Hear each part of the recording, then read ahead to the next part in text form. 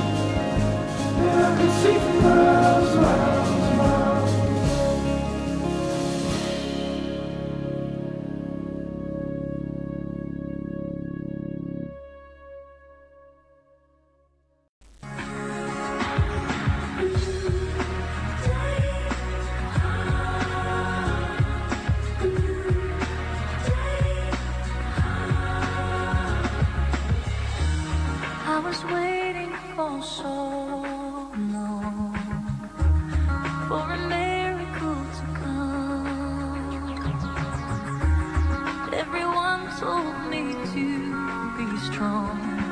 Hold on and don't shed a tear.